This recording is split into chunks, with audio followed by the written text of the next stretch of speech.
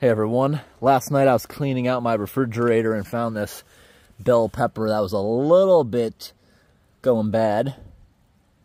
Oh, look, it's full of tadpoles.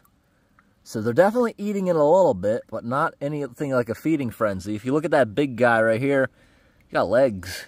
A lot of, oh, look, almost every tadpole's starting to grow legs. Look at that. Make sure they can get out of that. Um, down here, it looks like there is some good interest in the other piece. So, they'll kind of eat it if they're already there, but not really. Thinking about maybe buying them guys another watermelon, maybe some cucumbers when I go back to the store today.